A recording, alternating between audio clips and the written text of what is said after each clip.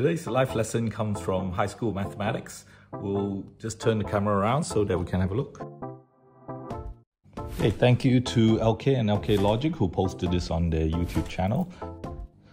So the question we're trying to answer is whether the number 222 to the power of 333 is larger or smaller than 333 to the power of 222.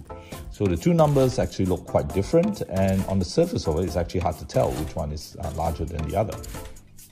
But let's just uh, break it down.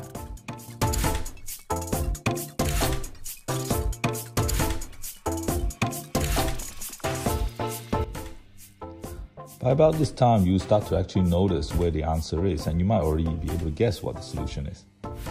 But let's break it down some more.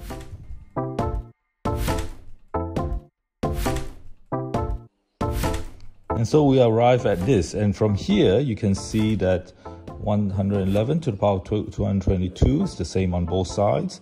The power, the exponent on both sides is of the second term is the same.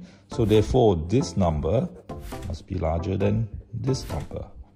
So, and it all comes from the fact that we recognize that 111 is actually a factor of both 222 and 333.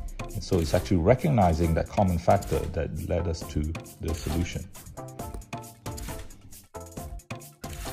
I find this to be one of many useful examples of how mathematics represent life. When I work with other people, the natural tendency is to look at the differences between myself and the people that I work with.